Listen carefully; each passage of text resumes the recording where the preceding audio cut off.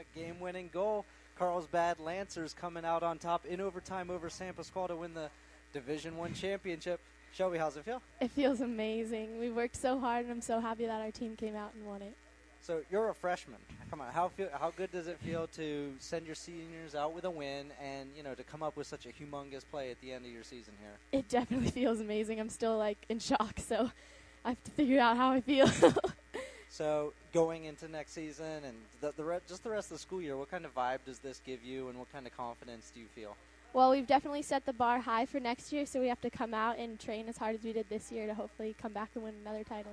And goals for the rest of your career here at Carlsbad? I just want to keep on doing whatever I'm doing because it seems to be working. and I just want to keep our team really tight and hopefully come out and win another one next year. Very good. Congratulations once again to Thank Shelby Lee, freshman, Carlsbad High School, getting it done in the Division One championship game here at Mater Dei High School. Thanks a lot for joining us. Thank you.